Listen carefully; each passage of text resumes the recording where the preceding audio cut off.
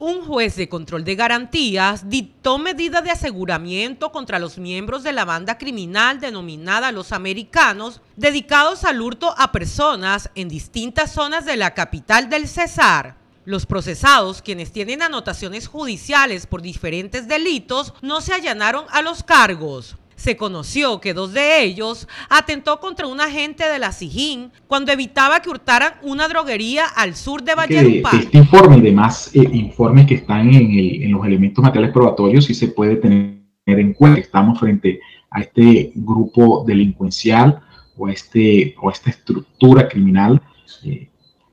es por ello que tenemos que estos ciudadanos, que en el día de hoy son 14 los que están implicados o capturados pero se tiene cuenta, ya lo ha indicado la señora fiscal, y se tiene cuenta de los elementos materiales probatorios, pueden ser eh,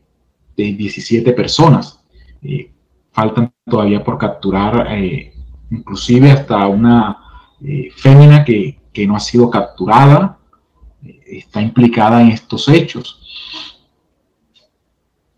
Es por ello que el actuar y como desplegaban estas conductas son unos un actuar totalmente reprochable y, lo cual configura unos hechos totalmente graves.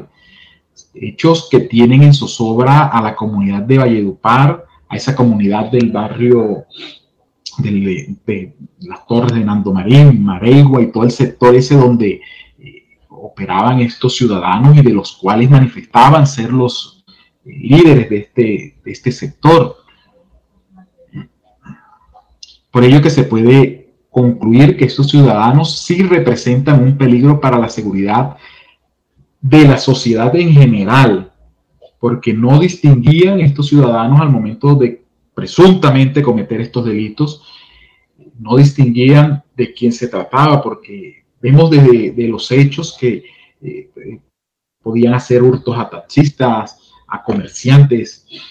a cualquier tipo de persona hasta el punto de que hasta la misma comunidad